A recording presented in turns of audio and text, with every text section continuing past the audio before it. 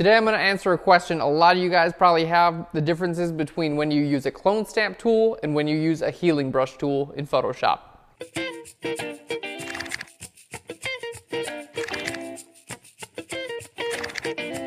Hey guys, welcome to Phlearn. My name is Aaron Nace. You can find me on Twitter at AKNacer. Today we are bringing you some really cool things, some differences between using the clone stamp tool and the healing brush tool. Now I know you guys probably know what each of the tool is, but it can be a little bit fuzzy at times when you should use one tool as opposed to the other one. So today it's all about that. We're gonna focus on how to use each tool and then I'm gonna show you guys when to use one tool versus the other one. Let's go ahead and get into Photoshop. We got a lot to do and uh, it's a good start to the week. Okay, so here's our image. Um, today we're actually working on an image we shot of Kelsey a couple weeks ago. Um, just an awesome fun time. We grabbed a light bulb. It's always fun to use a prop, um, you know, when you're doing a photo shoot. So we just grabbed a light bulb, we had her hold it, and um, we had a fan that was blowing her hair everywhere. And uh, we just said, have fun, pose with it, and um, look cool. So this is a really good image to show you guys the differences between the two tools. Um, first thing we're gonna do is let's go ahead and create a new layer. We're gonna start off with our healing brush tool and then we're gonna move on to our clone stamp tool. So let's just zoom into 100%, and sorry Kelsey, I know um, this has not been retouched yet, but your skin is great for the most part, so um, we'll just take care of a couple little areas that everyone has them. I mean, I have them, you have them, we all have little spots on our face. Okay, so we're gonna use our healing brush tool first. So I'm on a new layer. What you wanna be able to do is right here at the top, if you select current layer, um, it's not going to do anything. You start painting, it's basically to tell you there's nothing on this layer.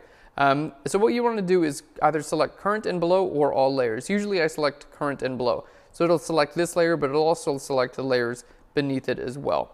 So with the healing brush tool, let's just zoom in a little bit more.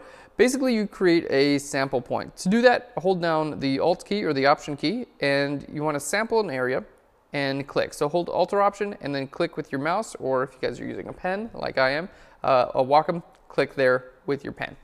Okay, now when you let go, um, you're gonna start painting in a new area, just like this, and you let go and it's gonna do a decent job blending it in. Let's just choose a brush that's slightly softer. You wanna choose a brush that's about the same size as the actual area you want to paint in. All right, let's go over here and we'll do the same thing. So holding down Alt or Option, click sample up there and then we'll just paint over that little spot and you can see when I get when I let go it basically just erases the spot. So you can see there's the before and the after with those. So pretty simple really. Let's go to another spot and uh, we'll show you guys the healing brush tool.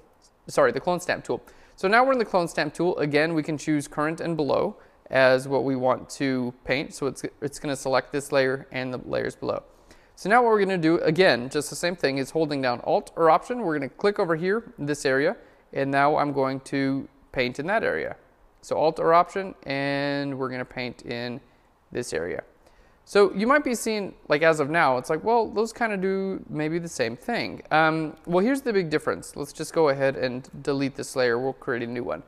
The Healing Brush tool, uh, what it does is it takes the texture from the area you sample, and it takes the color from the area that you paint, and then it mix, mixes those together. The Clone Stamp tool basically just does a direct copy. So I'm going to choose an area right up here, and this is going to be a good choice to like actually show you guys the difference between the two. Okay, so here's the healing brush tool. Now let's say I want to get rid of this guy, um, and I don't sample up here. Maybe I sample over here.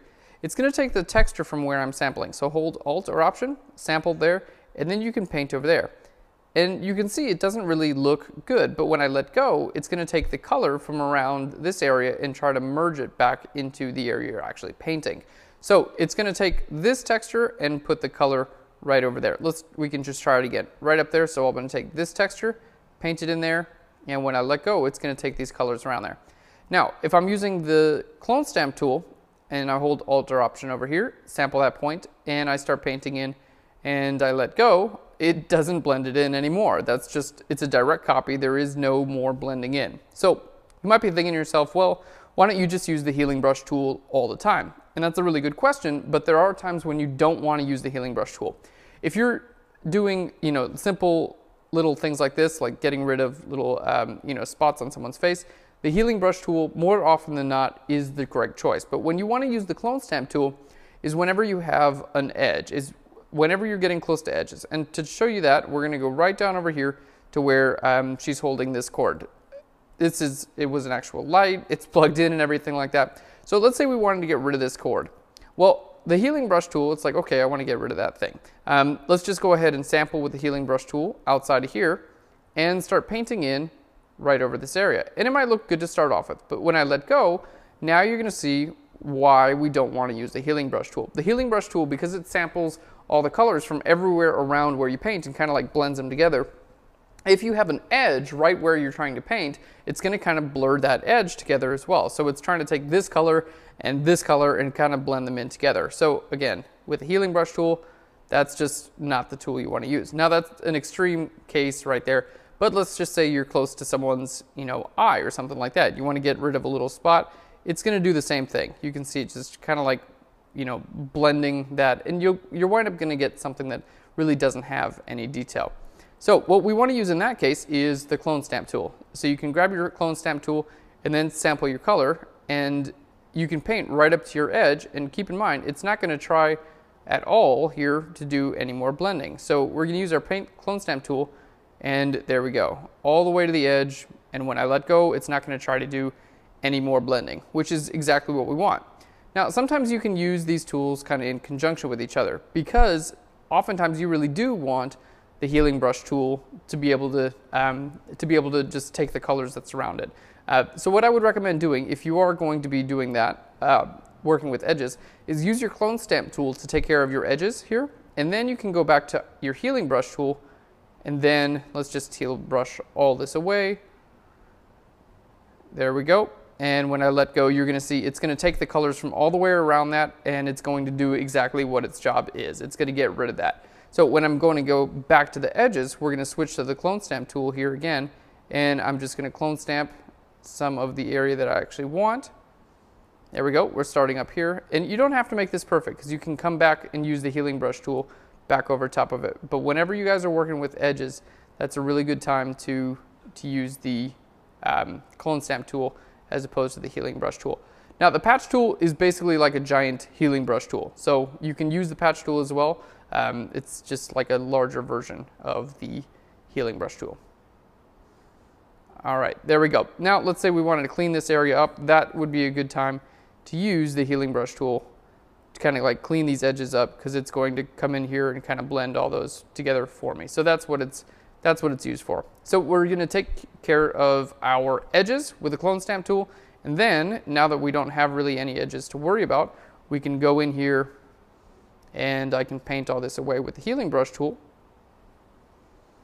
And it's going to do a really nice job when I let go of just blending all that in, except for this area, which you're going to have to go over again, which is not a big deal. But generally, I'll take care of, um, you know, all the way from one side of an edge to another side of an edge, and then you can just healing brush in between them, and you don't have to worry about texture or color or anything like that. But if we're going to do a crop, you can see we did a really nice job of getting rid of that using the clone stamp tool for the edges and the healing brush tool for the inside. So we'll just go in, I'll show you guys, this can be really quick. So if it's, if it's someone's face like this, again, you wanna grab the healing brush tool, sample a color or a uh, texture rather, that's similar to the area you wanna paint.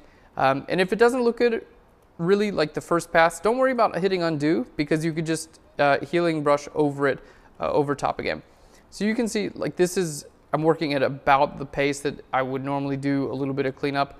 And the healing brush tool is really great for these areas where you do have like nice large patches of skin because you can just kind of go hold down Alt or option, you know, sample these points and just kind of go to work. And it, it does it very quickly and for the most part it just does a great job. So don't worry about using this tool on the edges, but anywhere where you don't have edges, this is going to be the perfect tool for the job and it's going to be very quick and easy. And you can see here the before and after, just taking care of those little spots. Really didn't take too long, and um, it's perfect. So now you know how to deal with edges, both um, close to the edges and far away from the edges. So clone stamp tool, use with the edges, and the healing brush tool, don't use with the edges. And that's it, guys. Pretty easy. So two tools, I'm sure you guys knew how to use them, but now you know how one tool should be used in opposition to the other tool. Thanks so much for watching Phlearn, guys. I hope this helped you out, and I can't wait to see your beautifully retouched images without any fuzzy edges because you know when to use the clone stamp tool now.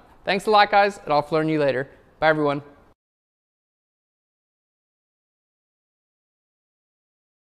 All right, get out of here. Get on out of here.